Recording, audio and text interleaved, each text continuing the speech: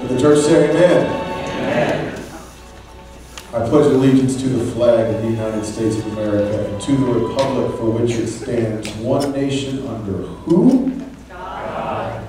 They took that out, didn't they? They, some, no, not officially. no. Not officially, in some places they did. I stopped saying it in schools. One nation under God. We can say that here because we know, well, I know who my God is. And I have a feeling that I know who most of your gods is. Gods are. Um, uh, but we do thank you guys for being here this morning on the late 4th of July, and happy 4th of July to you, especially on a weekend when so many people are out of town. We never know how many people are going to be here this morning. But what matters is that you're here, and we thank you for that. My name is Gary. If you don't know me, I'm one of the worship leaders here, and we just want to welcome you uh, to Pathways here at Orange United Methodist Church. And we're just going to dive right in by singing a song called Oh You Bring, about all the wonderful things that God brings to the world and to His kingdom and to our lives. So let's just all stand up together and sing this.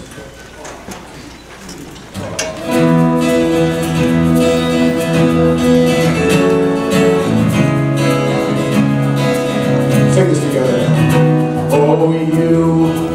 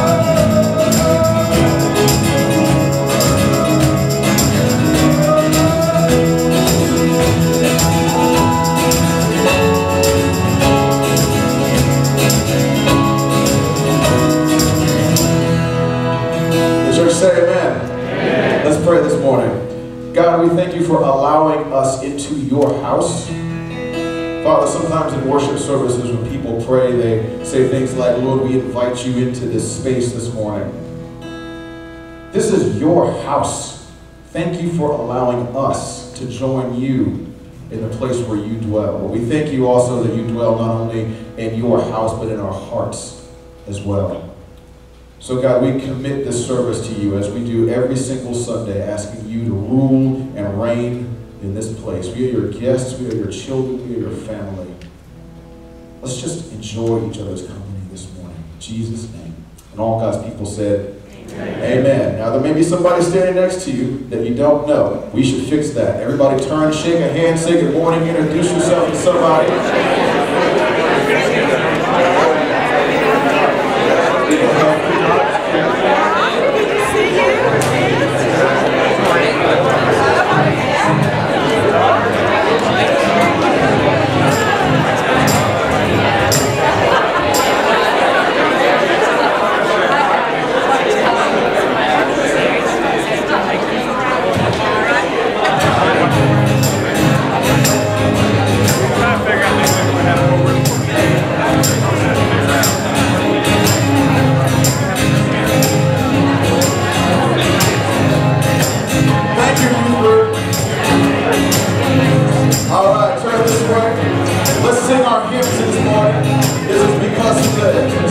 this.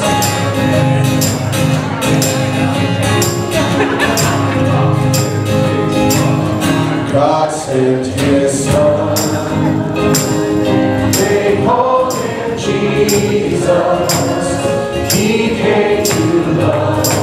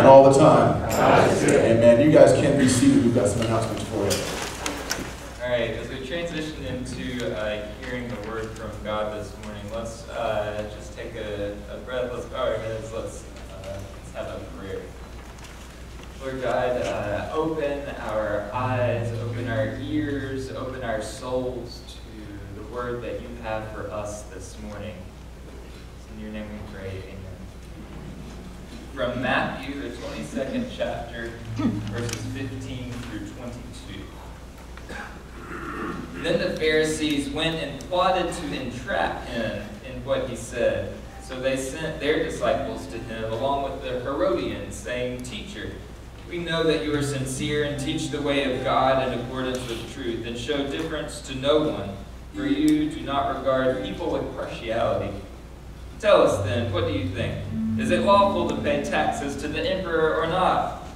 But Jesus, aware of their malice, he said to them, Why are you putting me to the test, you hypocrites?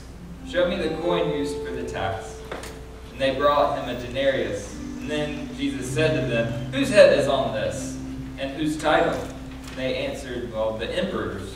And then he said to them, Give therefore unto the emperor the things that are the emperor's, and give to God the things that are God's. when they heard this, they were amazed. They left him and they went away. this church is the word of God for us, the people of God. It's now time for the offering. As the basket passes you by, please stand and join us in worship.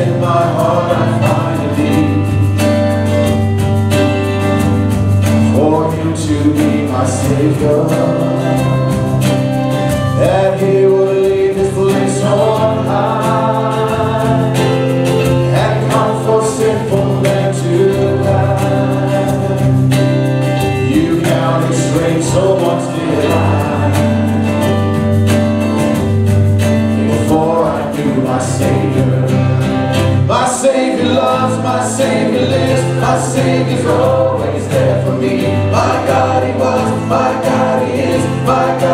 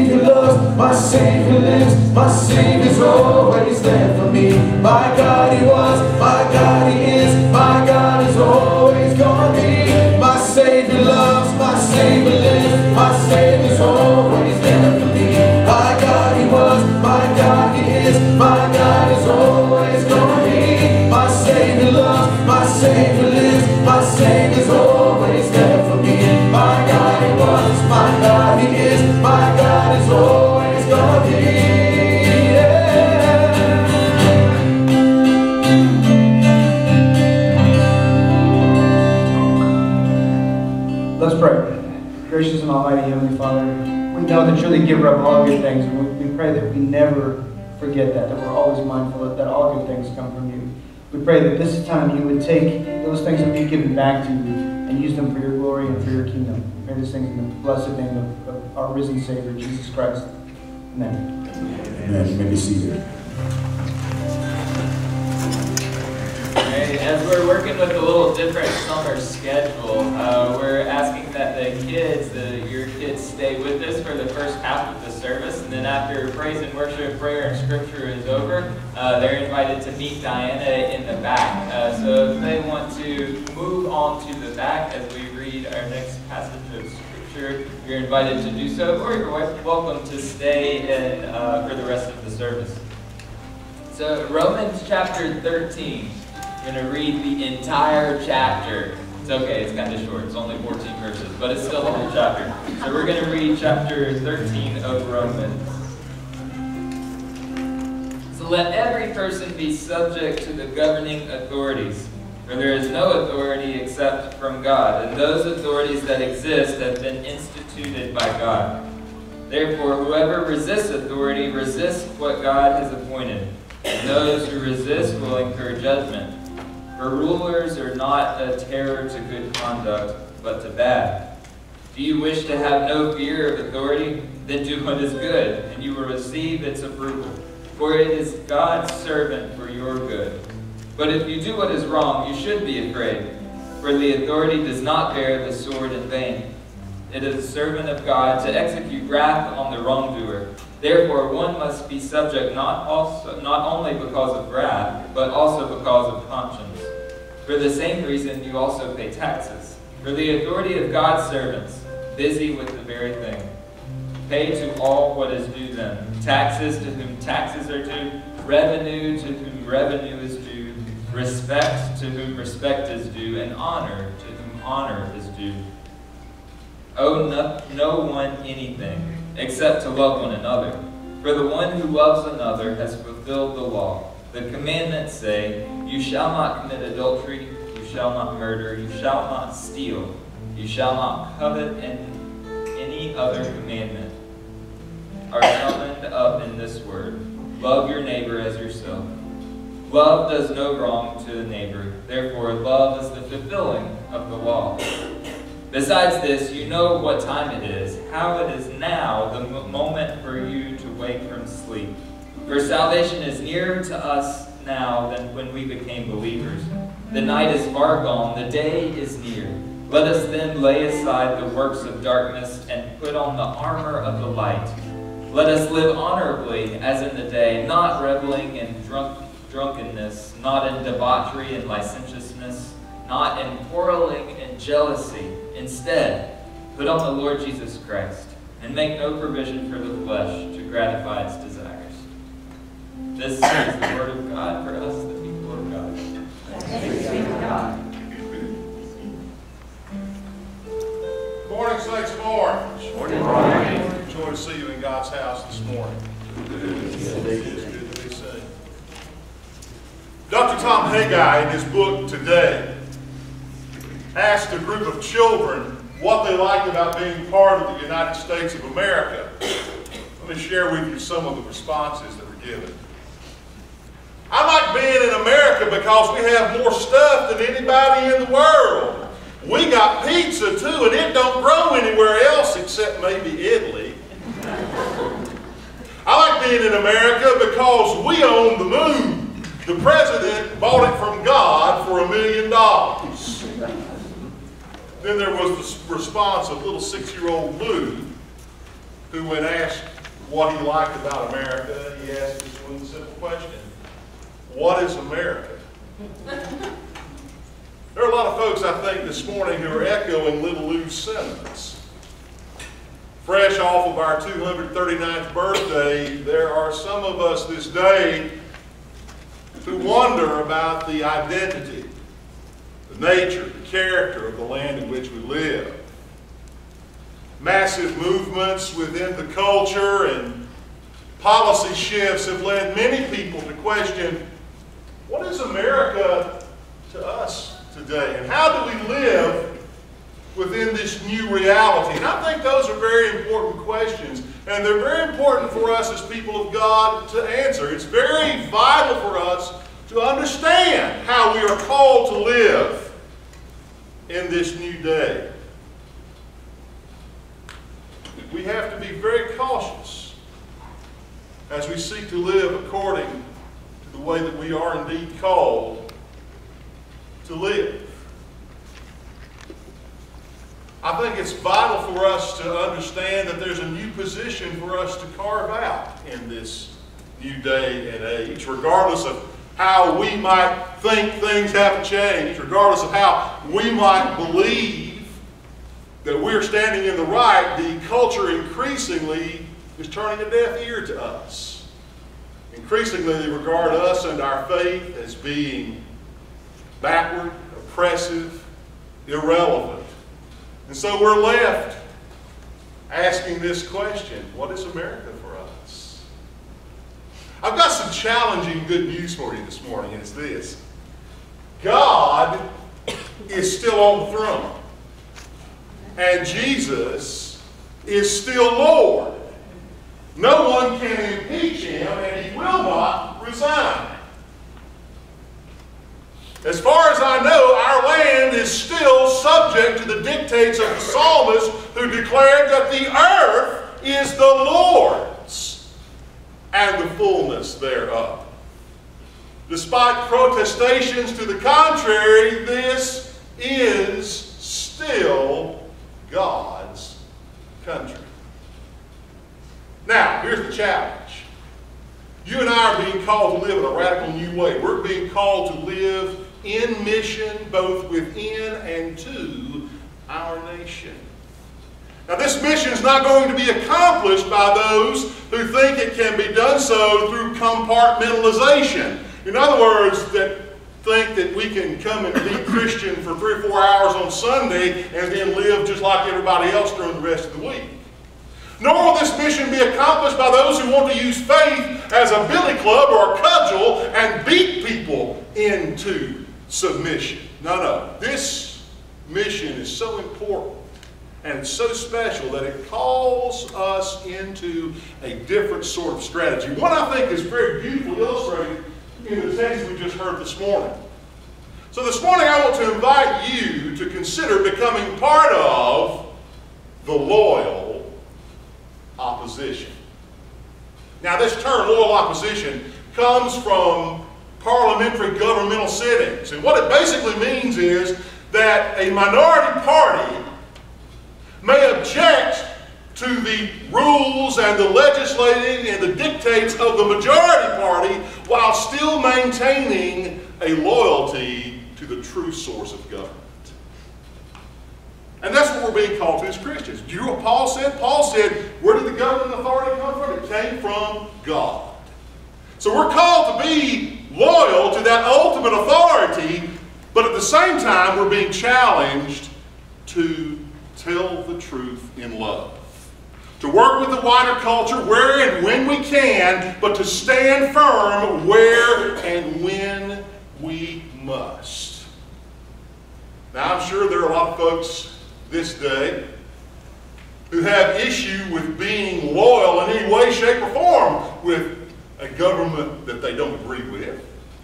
And then, of course, there are those who are not able to summon the courage of their convictions in order to oppose the powers that be when they need to be opposed. But you have to understand that both of these aspects are needed for us to be true members of the loyal opposition. And both are advocated in the texts that we've heard.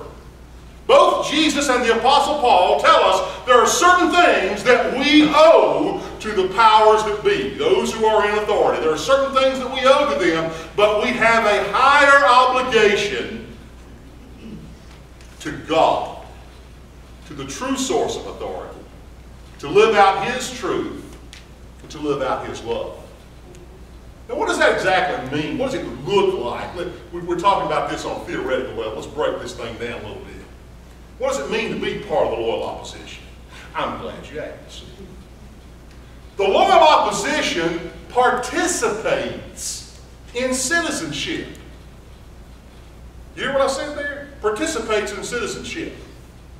Chris Cillizza, in a December 4, 2014 article in the Washington Post, cited a 2014 study from the Pew Forum.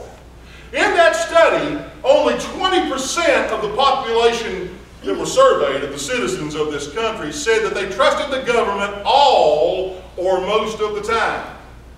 79% said they trusted the government some of the time or never. Cillizza went on to say that this collapse of the common trust means that every action and every word of governmental officials are subject to extreme scrutiny. Sadly, this lack of trust is now the new normal.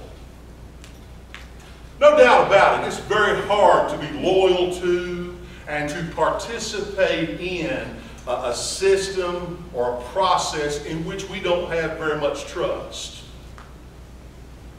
But maybe, just maybe, we have the system we have because we have not participated as we should. Allow me to illustrate. According to NPR.com, the 2014 midterm elections saw 83 million votes cast, or about 36.6% of all eligible voters. That's the lower, lowest voter turnout. That's the lowest voter turnout since World War II. If we do not care enough to express our thoughts, our opinions on the issues of the day through exercising our right to vote, then what right do we have to complain about those in power and the policies they create? The loyal opposition not only participates, but they do so to the best of their ability by being as well informed as possible. I was looking this week at some uh, clips on YouTube. I was trying to find a Jay Leno uh, sidewalk interview. Couldn't find one I really liked. I came across a guy named Mark Dice who had some interviews, and he was on a, on a pier in California. And he was asking people questions about the 4th of July, about Independence Day, you know, simple stuff. The result of watching that survey made my head want to explode. Because according to that survey, that man on the street interview, this country broke away from China. And Jesse Ventura signed the Declaration of Independence in 1978. You know, that'd be a whole lot funnier if it weren't so tragic. If we as citizenry cannot be well informed, even on the very basic issues about American life, what chance do we have in being well informed enough to make an important decision on the issues of the day? We've got to be well informed from all sorts of sources of information, but especially as God's people, we need to be informed as regarding the Scriptures. Instead of looking at a person or a policy and wondering, what is he going to do for my taxes? What's it going to do for the fortunes of my political party? What is this going to mean for me having a good time? We need to be asking the question, what does this mean in light of the Word of God and the faith we profess? Did you hear what Paul said earlier? He said, you know what time it is. How it is time for you to awake from sleeping That is a call to action. That is a call to self-awareness. And God's people, as the loyal opposition, understand that we help fulfill that call by the way that we participate as citizens of the land in which we live. So participate. The loyal opposition also practices through Christian discipleship. Practice our Christian discipleship. There are a lot of folks this morning, some within the church, others outside of the church, who very much would like to see or wish they would be believers, would be apolitical in nature. In other words, it's all right for you to think and believe what you like, but keep it out of the public forum, out and out of political systems, and keep it to yourself. And I know it sounds strange, but believe it or not, that's been the policy that the church has been using, particularly in the 20th century. I did some interesting reading. I didn't include this in my manuscript, but I did some interesting reading this week about the welfare state. And one of the reasons the welfare state exists today is because of a failure of the church. At one time, the church took care of the poor and needy, but we withdrew because of fighting between sides and theological bickering, and we withdrew. So when you gripe about the welfare state, remember, we got a hand in this. So there are a lot of people who'd like for us to pull back. There was a 2008 study done by the Pew Forum that said 51% of conservatives, liberals, and moderates, all three, wish that the church would stay out of politics. And I thought, hallelujah, something everything everybody agrees on.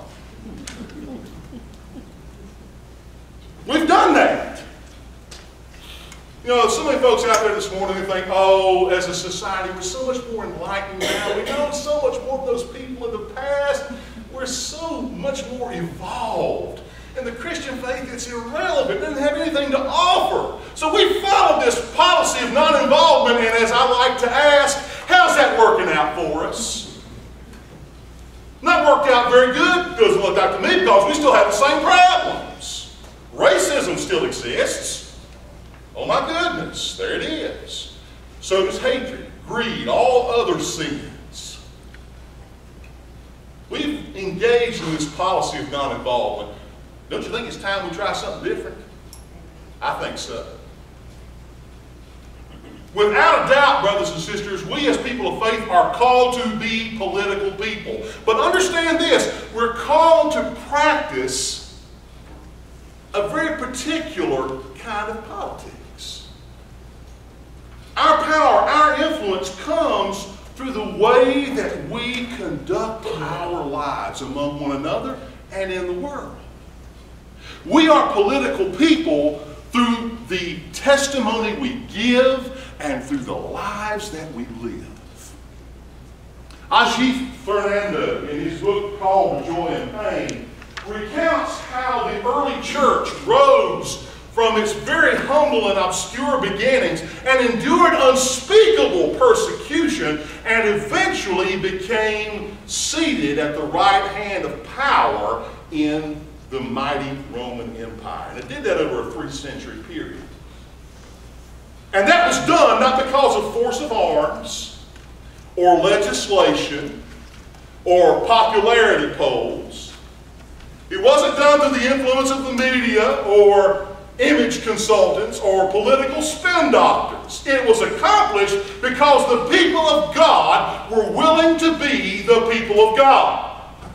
They were willing to back up what they professed with their lives, and they were willing to engage the world around them, the whole world around them, with the radical love of God in Christ Jesus. During those first two centuries AD, a couple of major plagues swept through Rome.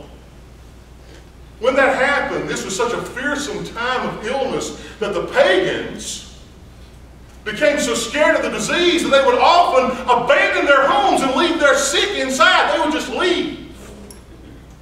But the Christians not only cared for their own sick, but they would take in these pagans at the risk of, and sometimes at the cost of, their lives to nurse them back to health. And it was this willingness to practice this kind of radical love that was responsible for many people coming into the Christian faith. Those folks were being political. Don't mistake, that's what it was. It was a political move, and the best kind of politics, because it gave them moral authority. It gave them the opportunity to stand up and speak to what they believed, and they were listened to because of their authenticity. And moral authority is something we in the church have surrendered for ease of lifestyle and for acceptance from the world. But here's the good news. By the grace of God, moral authority is something we can pick up again.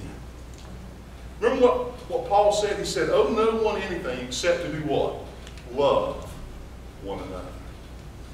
That's radical. That's political. The great British theologian John Stott once quoted a study by a psychologist named Robert Bellah from UC Berkeley. He said that the values of a culture can change when just 2% of its population have a new vision. And that prompted Stott to say this. He said, there are far more than 2% Christians in your country and mine. So where is the Christian influence? What has happened to it? I pray that God would send you into an unchristian culture to live for Christ, to stand uncompromisingly on His standards and His values. The members of the loyal opposition understand that we are political by the way that we practice our Christian discipleship. The loyal opposition prioritizes as members of the kingdom of God. John Hess Yoder tells a great story about a time when he was a missionary in Laos, and he found out that in the time before international boundaries became official and they were drawn, that the kingdoms of Vietnam and Laos found out a way, they worked out a way to tax the people in their shared border area. These people weren't asked to show a passport, they were judged by the kind of rice that they ate, by the style of house that they lived in, and how the house was decorated. Yoder went on to say that each person was judged to be a citizen of the country and the kingdom of whose values that they lived by. And so it is with us. We are living in the world, and yet, as kingdom citizens, we are called to live according to our Lord's standards and values. What's your house look like today? What kind of rice are you eating? This is speaking about prioritization, and that perhaps is ultimately the most important aspect of being a member of the loyal opposition. Both Jesus and the Apostle Paul tell us there are certain things you owe to the powers that be. Jesus talks about paying Caesar the taxes that he's owed. Paul talks about being a good citizen. Be, you know, be peaceful. Do what you're supposed to do. But both would remind us that ultimately we have a higher duty. And that higher duty is to the kingdom of God and His righteousness. And we are the citizens that we need to be. We're the members of the kingdom of God that we're called to be. We're the loyal opposition that we choose to be as we seek first the kingdom of God and His righteousness. Because that allows us to be who we're supposed to be as the church. We're supposed to be the mirror that we hold up to the world to show them who they are and to show them that there is a better way, a way of life that can be found only in Jesus. The great Dr. Martin Luther King Jr. once said, the church must be reminded that it is to be neither the master nor the servant of the society, but rather the conscience of the society.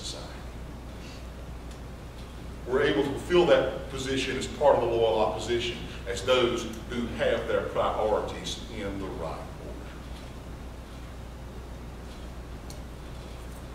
What is America? No doubt there are a lot of folks asking that question this morning and they don't like the answers that they think they're coming up with. But there's good news. The good news is that we serve a God of grace. And he invites us to engage with him in this ministry of reconciliation as members of the loyal opposition, as those people who are willing to participate in citizenship, as those people who are willing to practice their Christian discipleship, as those people who are willing to prioritize as members of the kingdom of God. Would you like to see a different world, a different nation? Would you like to help make a difference this day? Then come on, I invite you to join up, become part of the loyal opposition. Thanks be to God. Songs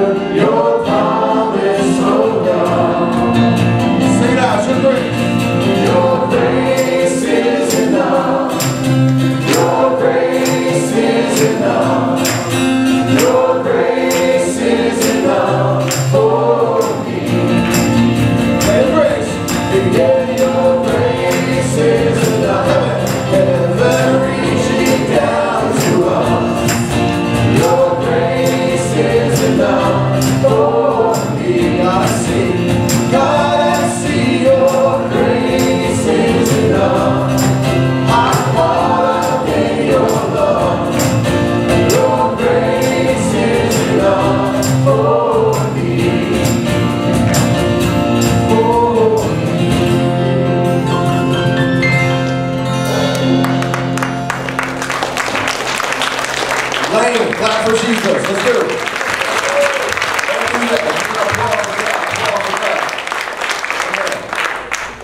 Uh, we've got some folks who are going off to be political uh, next week. Going to practice radical love in the name of Jesus in the hills of Kentucky.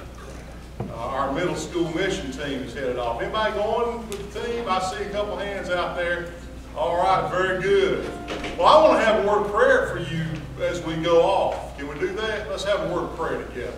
Lord, thank you for this opportunity to be together. We thank you for the call you place upon us and for the times in which you've allowed us to live and for the strength you give us to live in these times. I pray a special blessing this day, Lord, on our folks who are going over to Kentucky, our middle high team, the, the chaperones, and Lord, those who are going to work, I pray that you would be with them in a powerful way. That you would give them traveling mercies to and from, that you would keep them safe while they are there, but most of all, that you would shine your light of love through them in new and radical and powerful ways, that others will see them and give glory to you and will be led to give their lives to you that they might share that same sort of love. Lord, use our team as a means of bringing others to the throne of grace. We lift all this up in your powerful name. Amen. Enjoy peace.